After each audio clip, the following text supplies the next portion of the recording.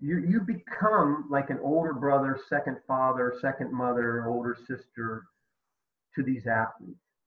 They, they rely on you so much. You, the bond that you can create with these athletes is, is, is incredibly strong.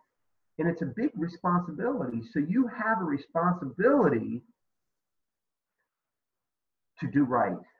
You know, there's always, I always tell these young coaches there's two paths you can follow. You can follow the path of being a leader, or you can follow the path of being a follower. And there are no rewards in being a follower, none whatsoever. But being a leader doesn't mean walking around that pool deck saying, I'm the boss. Being a leader means taking a stand for what's right.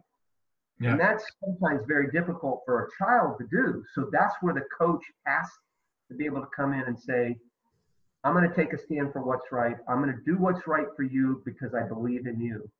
And one of the big things that you know my coach always did was he eliminated the NT words from his vocabulary. There was never a don't or won't or can't in his vocabulary.